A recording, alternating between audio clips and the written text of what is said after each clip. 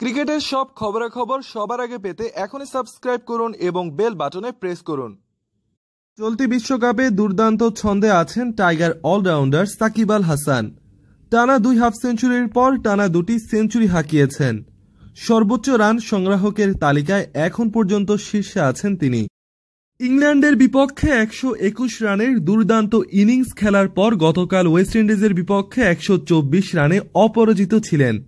সাকিবের এমন পারফরমেন্সের প্রশংসা করেছেন ভারতের জাতীয় দলের সাবেক স্পিনার হরভজন সিং।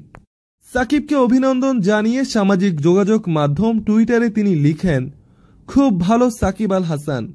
ওয়ানডেতে ছয় হাজার রান করার জন্য অভিনন্দন তোমাকে। সামনে এগিয়ে যাও। তোমার জন্য শুভ কামনা রইল বন্ধু আমার। সাকিবকে নিজের বন্ধু হিসাবে উল্লেখ করে এভাবেই শুভকামনা জানালেন হরভজন সিং। এক সময় ভালো খেললেও বাংলাদেশ দলকে সমালোচনা করত ভারত পাকিস্তান সহ বিভিন্ন দল। অথচ এসব দলের খেলোয়াড়রাই বর্তমানে বাংলাদেশকে প্রশংসা করছে এবং নিজেদের বন্ধু হিসেবেই উল্লেখ করছে।